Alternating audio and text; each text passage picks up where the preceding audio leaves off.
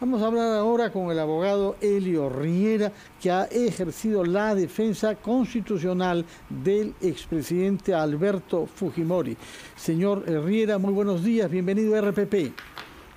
Muy buenos días, muchas gracias por la mala entrevista. Gracias. Hemos tomado conocimiento ayer de la publicación completa de la sentencia con los argumentos de los votos en minoría y de la mayoría pero queremos saber ahora cómo se aplica esta sentencia, qué trámites corresponde realizar ahora que se ha publicado la sentencia hasta que salga de la cárcel en la que se halla en De la Diroes el expresidente Alberto Fujimori. Bueno, muchas gracias por la pregunta. Eh, bueno, en efecto, hemos tomado conocimiento de esta sentencia del Tribunal Constitucional, el pleno de la sentencia 78-2022, donde se declara fundada la demanda de habeas corpus nula determinadas resoluciones por encontrarse viciadas de incompetencia eh, y vulnerar la debida motivación y se ordenó la restitución de la resolución suprema 281-2017 del 24 de diciembre de 2017, por ende del indulto. Lo más importante es que dispone la libertad inmediata del favorecido Alberto Fujimori Fujimori.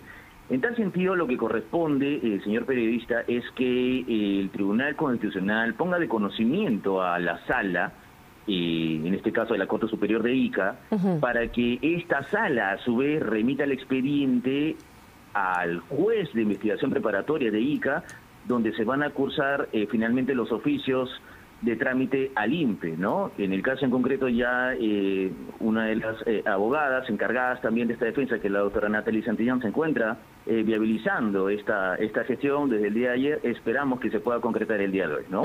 Es decir, esta resolución entonces va hasta ICA. En ICA, entiendo por lo que usted acaba de explicar, hay dos instancias. ¿Cuánto tiempo podría durar? ¿Cuál es, hay, ¿Hay algún plazo si es que no es hoy entonces la liberación ¿cuánto tiempo de plazo podría darse a, la Administración de Justicia?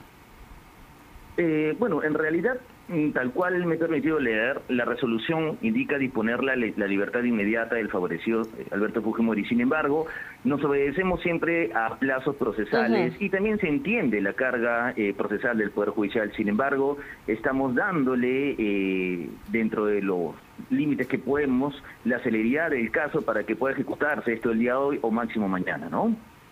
¿Y usted cree que entonces el expresidente Alberto Fujimori puede salir mañana mismo de la DIROES? En realidad, señor periodista, yo considero que debería salir hoy mismo, tal cual dice el máximo intérprete de la Constitución. Sin embargo, eh, confiamos eh, eh, en que con los buenos oficios que se puedan realizar el día de hoy se pueda concretar ello o máximo mañana, ¿no? Entendiendo la carga procesal que, que se da del Poder Judicial, que es entendida, ¿no?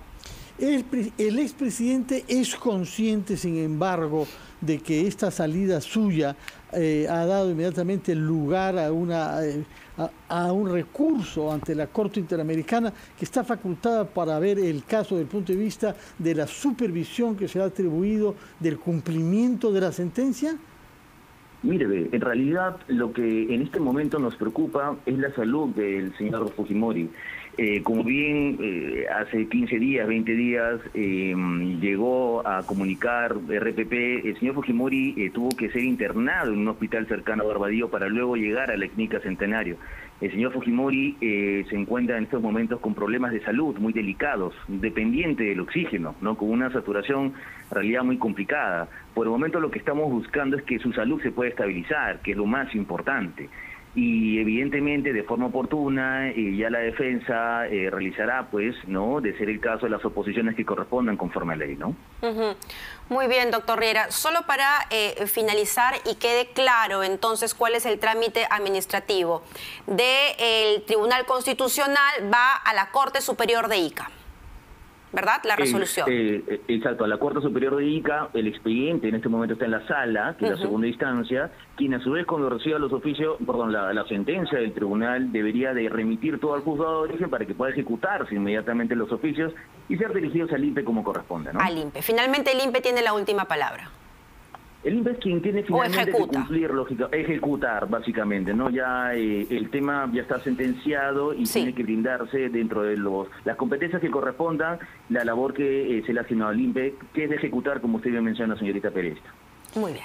Muchas gracias, abogado Elio Riera, que es el abogado de la causa ante el Tribunal Constitucional del expresidente Alberto Fujimori, que nos anticipa que el señor Fujimori podría salir eventualmente de la eh, prisión en Adirois en la que se halla el día de hoy, si no acaso mañana, por los trámites que deben ser hechos entre cortes y eh, llevar, llegar al INPE. Muchas gracias y muy buenos días, señor Riera.